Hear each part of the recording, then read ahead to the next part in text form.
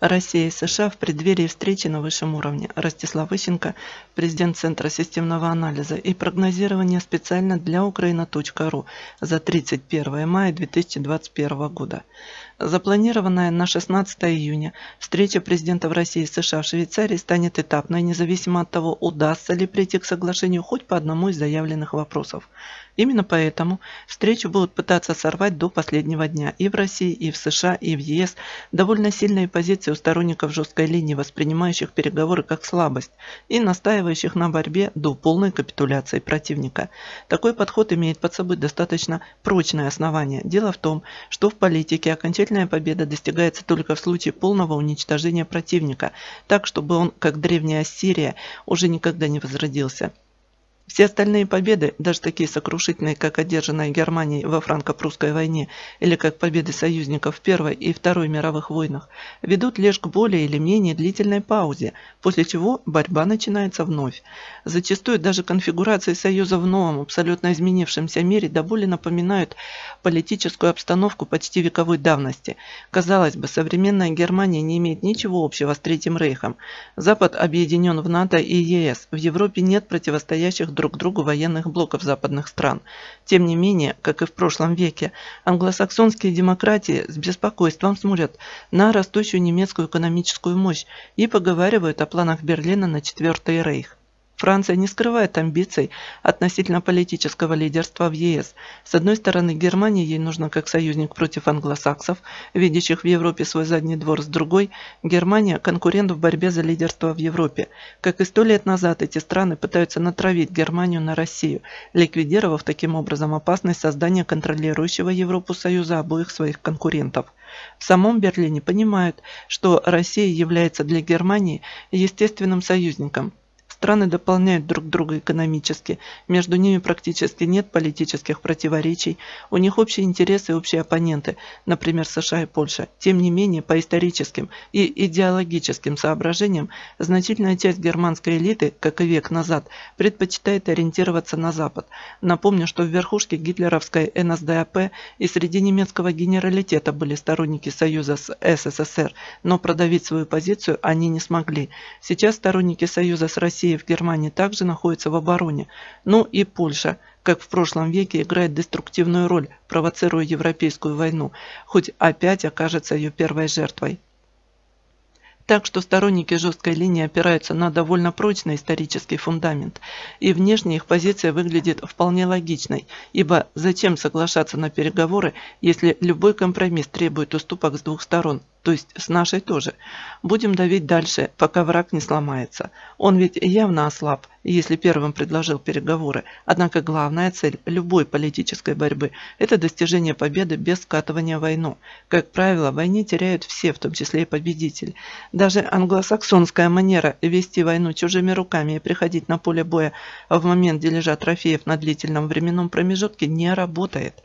При всей своей военной хитрости Британская империя рухнула, а американская империя сильно шатается и грозит рухнуть у нас на глазах. Дело в том, что основные издержки войны не только и даже не столько потери на фронте и разрушение инфраструктуры. Как бы цинично это ни звучало, но за исключением случаев тотального геноцида, родятся новые люди, которые построят новые города. Основные издержки происходят от вынужденного перекоса экономики, гипертрофированного развития военного сектора ВВПК – которому необходимы заказы и в те годы, когда войны нет и техника не уничтожается массово на полях сражений. Подобный перекос, искажая нормальную экономическую структуру, в конечном счете начинает влиять и на политику. Именно эта причина лежит в основе безумной, агрессивной, а в конечном итоге самоубийственной политики США, а до них Британской империи.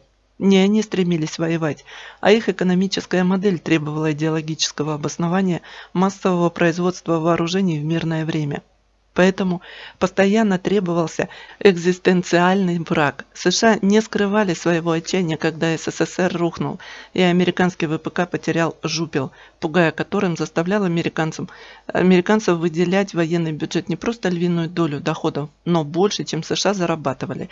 Фатальный американский долг – это деньги, перекачанные в карманы капитанов ВПК, а также лидеров идеологического, информационного и политического обеспечения военной гонки. Для того, чтобы добиваться успеха в политическом противостоянии, не скатываясь в военные действия, требуются периоды разрядки. Постоянное нагнетание напряженности приводит к тому, что война, даже самая разрушительная, начинает представляться населению идеологом гам противостояния даже политическим элитам меньшим злом по сравнению с ледяным миром. Мы с вами буквально в последние 10 лет могли убедиться, что нарастающая провокационность политики США и их фактический отказ от соблюдения каких бы то ни было правил привели к тому, что в российском и не только в российском обществе стала набирать популярность идея наказания наглецов любой ценой, несмотря даже на риск скатывания в ядерную катастрофу. Судя по всему, подойдя во время весенней военной тревоги к краю пропасти, никто никогда не знает, чем закончится массированная концентрация войск противостоящих сторон на границе. Иногда события выходят из-под контроля и война начинается как бы само собой. Сохранившая остатки вменяемости, часть американской элиты поняла, что необходимо стравить пар глобального противостояния, иначе с котла сорвет крышку. Совершенно очевидно, что такому трезвому подходу способствовали несколько лет выигранной в ходе украинского кризиса российской властью, не позволившей втянуть страну в военный конфликт в 2014-2016 годах. За эти годы были поставлены в армию и освоены войсками новые системы вооружений, изменившие баланс сил. США уже не уверены не только в том, что они способны выиграть войну с Россией, они боятся ее элементарно проиграть, то есть не суметь нанести России неприемлемый ущерб, при том, что сами такой ущерб понесут. Поэтому американцы выступили инициаторами полномасштабных переговоров по всем текущим глобальным проблемам и проявляют даже большую заинтересованность во встрече, чем Россия. На этом основании некоторые отечественные теоретики кухонной дипломатии утверждают, что России было бы полезно вообще от переговоров уклониться, но это не так. В стравливании пара мы заинтересованы не меньше, чем США. Зачем рисковать войной, если мы побеждаем в условиях мира? естественно, возникает вопрос, что же делать, если глобальный компромисс США ослабляет наши позиции, а отказаться от переговоров нельзя?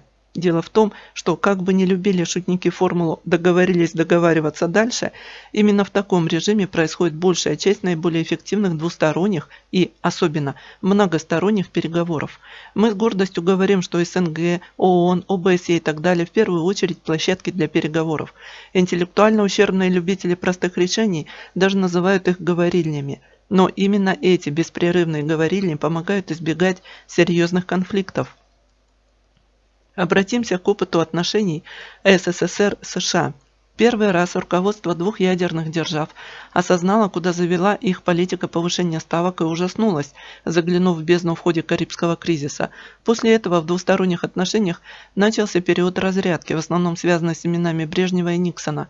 Полтора десятилетия СССР и США, кстати, в Женеве, вели переговоры о всеобъемлющем глобальном урегулировании, но к полноценному компромиссу так и не приблизились. Были подписаны договоры, ограничивающие масштабы ядерных испытаний, устанавливающие пороговые значения ядерных арсеналов, вводящие отдельные меры контроля. Но даже разоруженческая тематика так и не была до конца исчерпана, не говоря уже о полном снятии всех взаимных претензий. Американцы прозвали министра иностранных дел СССР Андрея Андреевича Громыка «Мистер Нет». Советский Союз также много и жестко критиковал американскую делегацию за неконструктивный подход. Тем не менее, задача была решена. До конца 70-х годов, когда исламская революция в Иране и вход советских войск в Афганистан в одночасье изменили баланс сил, на Большом Ближнем Востоке, пар стравить удалось. Затем ставки начали повышаться по новой, и следующую разрядку начали уже Рейган с Горбачевым. Но Михаил Сергеевич, как молодой врач из анекдота, вылечивший пациента, на котором всю жизнь зарабатывал его отец, неправильно понял стоявшую перед ним задачу – надо было договариваться, а он решил договориться и быстро пришел с Рейганом к компромиссу по всем насущным вопросам, просто пойдя на невынужденные уступки, так как считал, что цель США та же, что у него – глобальное урегулирование. На деле же американцы желали получить односторонние преимущества. Он им их предоставил. А они этими преимуществами не замедлили воспользоваться. Так вот, переговоры в Женеве надо вести по методу Громыка, а не по методу Горбачева. Нам важен сам процесс переговоров, поскольку он снижает напряженность, что России выгодно. Переговоры еще не начались, а американцы на несколько месяцев стали вести себя значительно тише, не стали обвинять Россию в инциденте с самолетом в Беларуси, а раньше бы обвинили обязательно, не стали вводить санкции против компании оператора СП-2.